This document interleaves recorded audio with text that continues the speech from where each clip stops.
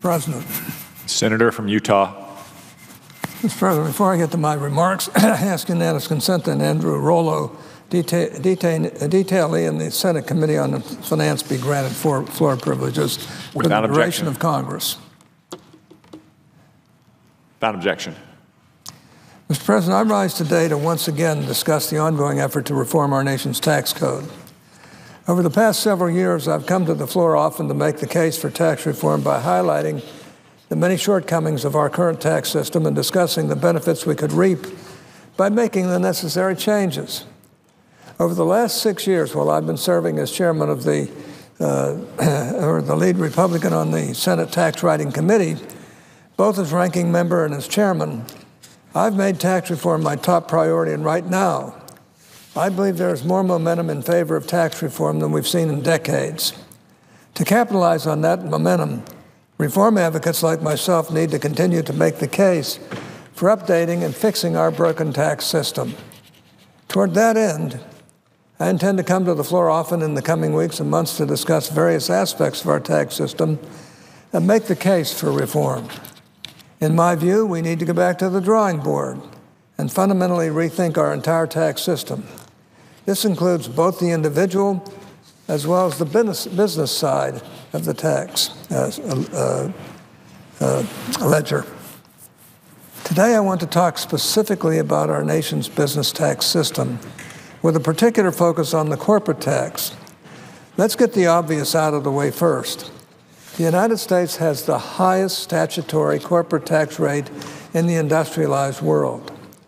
Looking at the effective uh, corp corporate tax rates uh, tells an equally gloomy story of the lack of American competitiveness.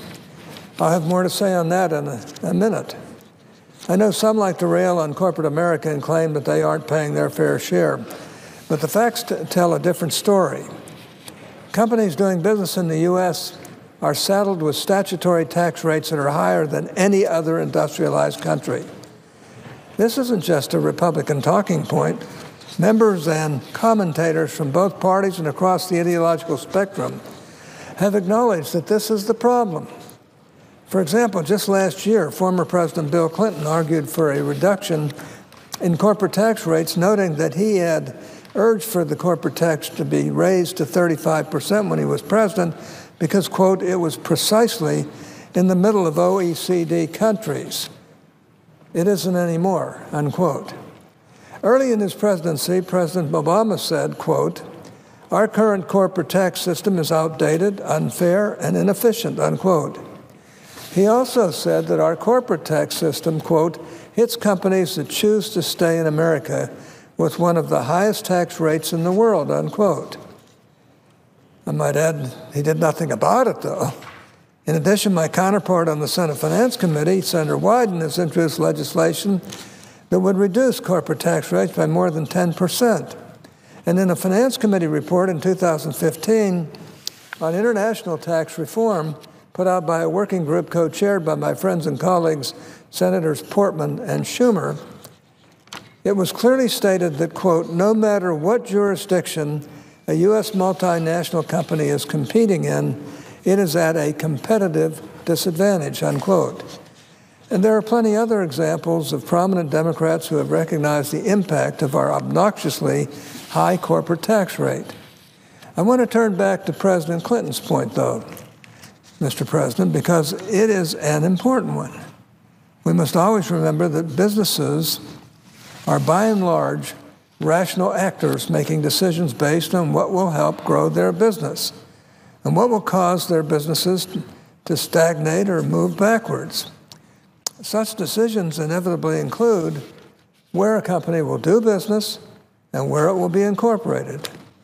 According to the Organization for Economic Cooperation and Development, or OECD, businesses contemplating investment and, uh, and uh, other similar matters, uh, especially incorporation in the United States, must first come to terms with the largest combined corporate tax rate among OECD member countries, which is currently at 39.1 percent. Now, some of my friends on the other side of the aisle like to counter these inconvenient facts by acknowledging the difference between effective tax rates, which are rates after accounting for deductions and credits, and statutory tax rates. Of course, even when taking more differences into account and focusing solely on effective rates, the United States only falls from the highest to the fourth highest corporate rate among countries in the G20. And that is according to 2012 data that doesn't yet capture recent tax reforms in the UK and elsewhere. In other words, whether we're talking about effective rates or statutory rates in the US, we're talking about some of the highest corporate tax rates in the world. And as the working group co chaired by Senators Portman and Schumer made clear, this translates into American companies constantly being put at a competitive disadvantage. Now, it doesn't take a PhD in economics to recognize that this has had a major negative impact on our economy and the ability of the American job creators to compete on the world stage. As a result of the astronomically high corporate tax rates in our country, we've seen companies that keep in, that keep in mind have duties to their shareholders engage in inversions, earning stripping, and profit shifting, all of which erode our tax base and drive away American ingenuity and innovation. These types of activities ship jobs, economic activity, intellectual property, and capital offshore rather than keep them, keeping them right here in America. The primary driver behind, behind most of these practices, practices that have been decried in the harshest rhetoric by some of our friends here in the Senate, is the desire to avoid, at the very least, mitigate the impact of the corporate U.S. corporate tax. And while I'm no fan of inversions or foreign takeovers or aggressive tax planning techniques, that shift profits around the globe in search of low taxes. And I don't want to see any unnecessary erosion of the U.S. tax base. I can hardly fault any company for simply responding to the incentives created by our business tax system and the competitive actions of other countries who've been lowering their corporate tax rates. Unfortunately, instead of recognizing the perverse incentives of our current tax system, coupled with companies' duties to their shareholders, many of my Democrat friends, most notably some prominent officials in the previous administration, have derided the executives and board members making these decisions, claim, claiming that they lack, in the words of our previous U.S. Secretary Treasury, or Treasury Secretary, excuse me, they lack, quote, economic patriotism, unquote. The truth is that when it comes to business tax system, to our business tax system, some of our friends have buried their heads in the sand. Let's take a quick stroll through recent history. In the 20 years between 1983 and 2003, there were just 29 corporate inversions in the United States.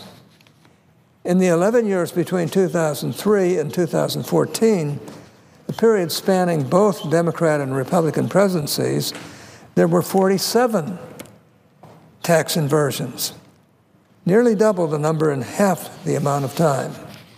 A quick review of changes in other industrialized nations' tax schemes will show that while the United States has stubbornly maintained the same corporate tax rate for more than three decades, other countries have nimbly adapted to the growing competition in the global marketplace. Now, Mr. President, I've spoken at length about inversions before, so I will not belabor the issue now. What I do want to say is that when I talk to board members and CEOs of some of the largest companies in our country, they tend to be unequivocal when asked why they feel pressure to invert almost uniformly. Their answer is our outrageously high corporate tax rate. Personally, I think this is one of the reasons why my friends and colleagues who sit on committees that regularly engage in these topics have come to recognize the level of our corporate tax rate as the major problem that it is.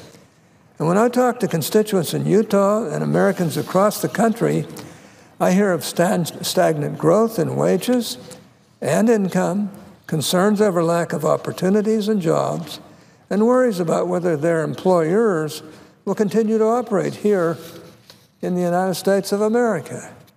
Of course, the problem with our corporate tax system isn't just that it incentivizes companies to move offshore or discourages businesses from forming here in the United States in the first place. The problems actually run much deeper. Since 1947, the average growth of inflation adjusted GDP in the U.S. has been 3.2%. Unfortunately, in the eight years of the Obama administration, the growth rate was an anemic 1.8%. Now, I know that several of my colleagues would, in response to those data points, argue that much of that is due to the Great Recession that took place at the initial stages of, the President, of President Obama's term uh, or time in office. However, a quick review of the quarterly growth rates since 1947 will show that there are normally periods of growth following recessions as the economy rebounds and the values of assets normalize in, uh, uh, again. In the case of the Great Recession of 2008 to 2009, that normal rebound did not occur. And a big reason why is the downward pr- pressure imposed by our outdated tax scheme. And let's remember, the recession ended in June 2009, more than eight, eight years ago. Now, others still might argue that this is all academic. They might even be brazen enough to claim that when we talk about the corporate tax rate, we're, we're talking about the problems of the rich and not the middle class. Again, anyone making such an argument would simply be ignoring the facts and could be considered an idiot. Make no mistake, Mr. President, the crippling corporate tax rate in our country has stifled growth and investment in American businesses. And this doesn't just impact Wall Street investors or rich CEOs, it has a negative effect on the middle class and on lower income workers.